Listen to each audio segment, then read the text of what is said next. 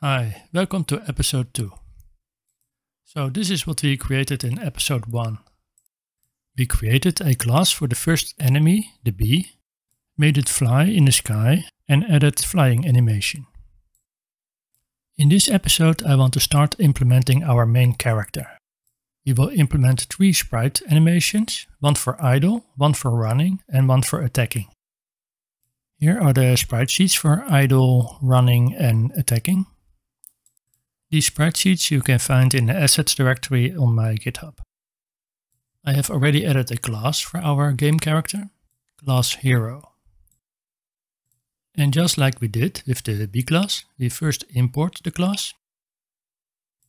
We create the hero object and we place our hero at the coordinates 400, 400. And we make our hero face to the right. Every frame we need to call the update method on our hero object to update its position and the sprite animation. And also every frame we need to draw our hero. Now let's have a look at the hero class. Here we have the init method.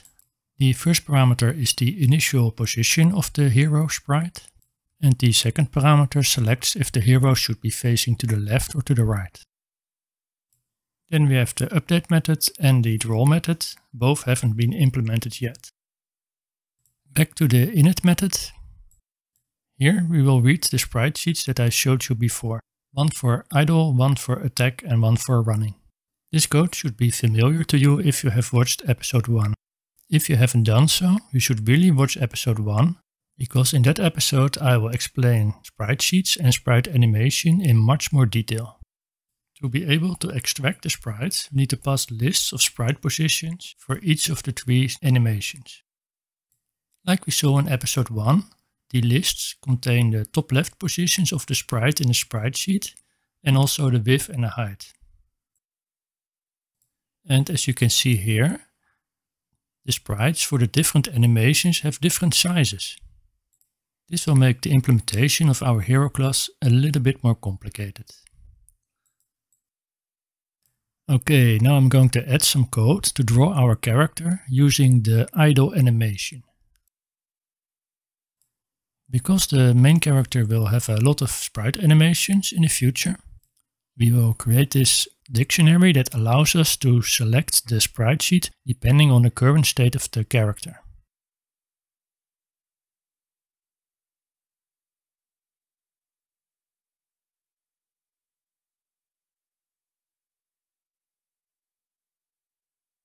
Then we initialize some variables for the sprite animation, just like we did in the Bee class.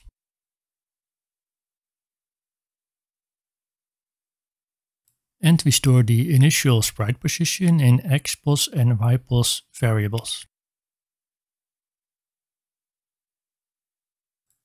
The first thing we will do in the update method is to call the select animation method in which we will choose a animation based on the character state. Let's implement this method. First, we set the animation speed to some default value. But in the idle state, I want to make the animation a bit slower than in other states.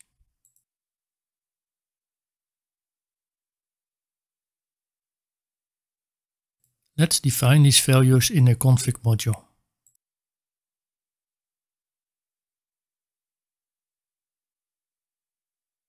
Next, we select the sprite sheet based on the current state.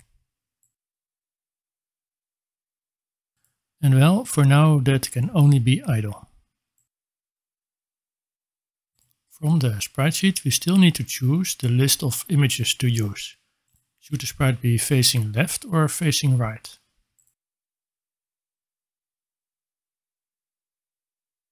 Back in the update method, we set the sprite image to a frame of the current animation.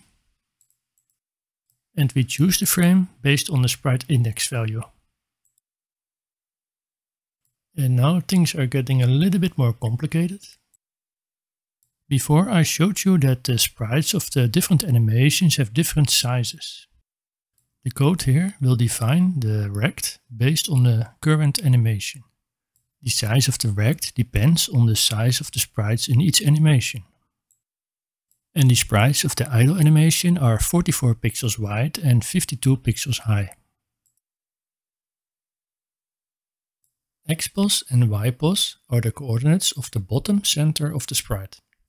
But here we need to specify the top left coordinates of the rect. So here we calculate these using the sprite size. Let's draw this to make it a little bit more clear. Let's say this point is specified by the coordinates in xpos and ypos. And we want this point to be at the bottom center of our sprite. That means we have to define our rect like this. We need to subtract the sprite height from ypos and we need to subtract half of the sprite width from xpos to get the top left coordinate of the rect.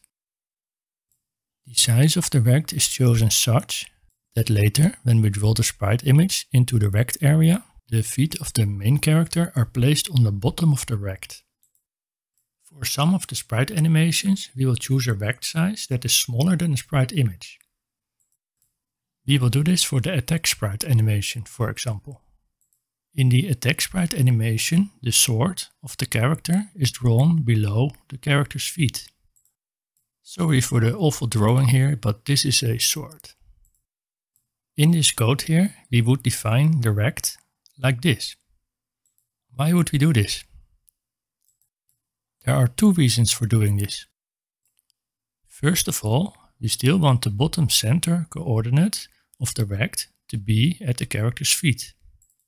And the other reason is sprite collision that we will look at later. Later, we will use sprite collision detection to see if our character is standing on a platform. And for collision detection, we will use the rect. So in this case, we don't want the part of the sprite image that is below the character's feet to be in the rect.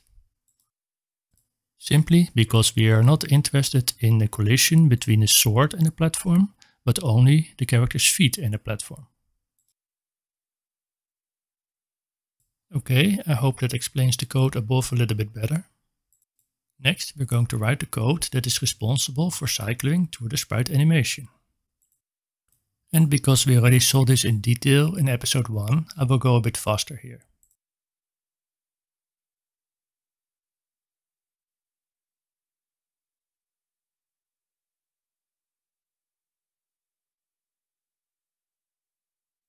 And then finally, all we need to do is to draw the sprite image on the display surface at the location specified by the rect. And there we have the idle animation of the hero.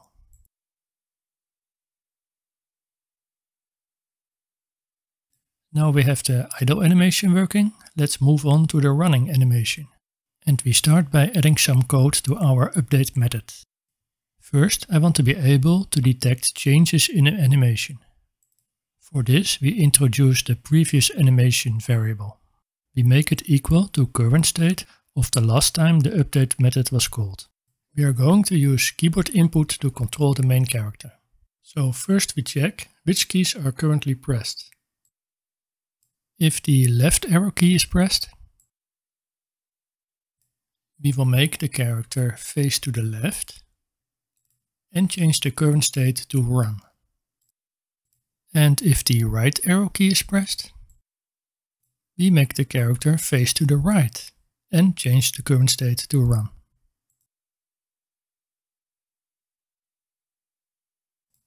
But if none of the arrow keys is pressed, we immediately switch back to the idle animation.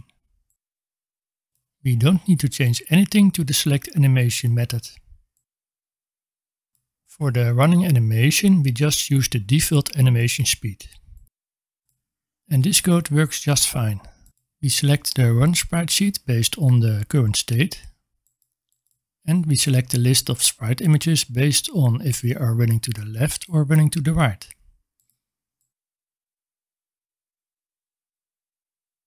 Before I mentioned I want to be able to detect changes in the animation. And this is why. Every time we change the animation, I want to reset the animation index, so we start the new animation from the beginning. Next we position the rect, just like we did for the idle animation. The only difference is that for the running animation we have a different sprite size.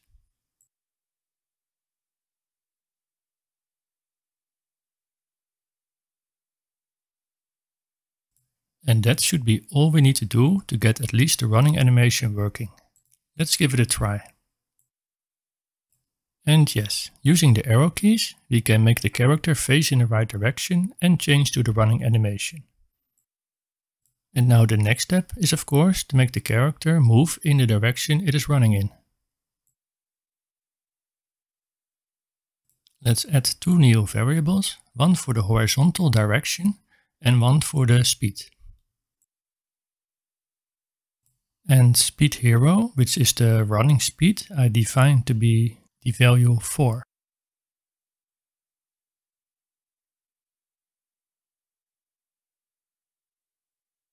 In the update method, we are going to set the horizontal direction depending on which arrow key we press. Negative 1 when we press the left arrow key and positive 1 when we press the right arrow key.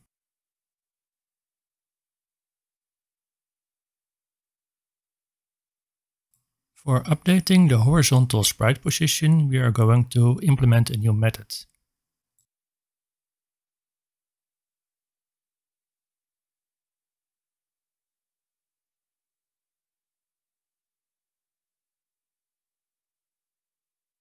And now we update the sprite position by moving the rect to the left or to the right.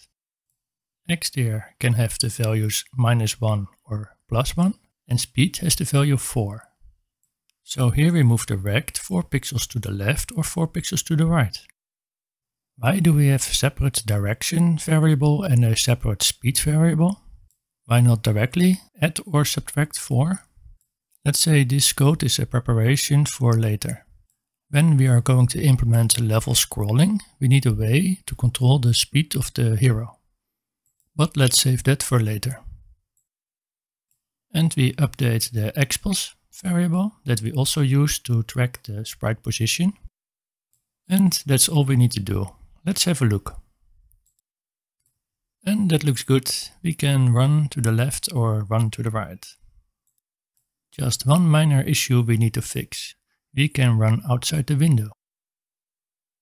But there is an easy fix for that. We simply make sure that the left side of the sprite cannot have an x coordinate that is lower than 0. And the right side of the sprite cannot have an x coordinate that is higher than the window width.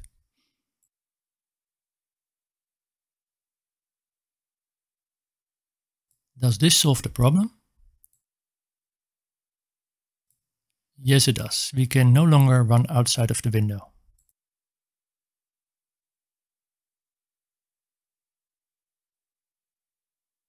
The last animation I want to add is the attack animation. And for this we really don't need to add much more code. Let's trigger the attack by the spacebar key.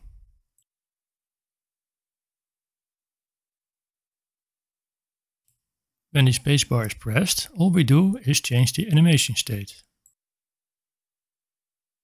Note that we first check if the spacebar is pressed and only later if the arrow keys are pressed which means when we detect an attack, we will stop running. And I want to keep ignoring the arrow keys until the entire attack animation has finished. So here we are going to disable checking for key presses until we are no longer in the attack state. This happens when the attack animation is finished and we return to the idle state. And then the last thing we need to do is to reposition the rect position.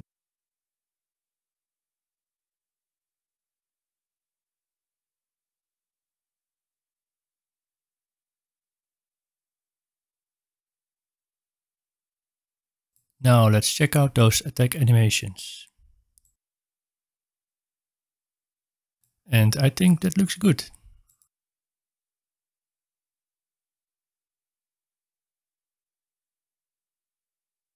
Okay, I think that is enough for this episode. Let me know what you think and see you in the next video. Thank you for watching. Please help my channel grow by subscribing and liking my videos. Hope to see you in the next video.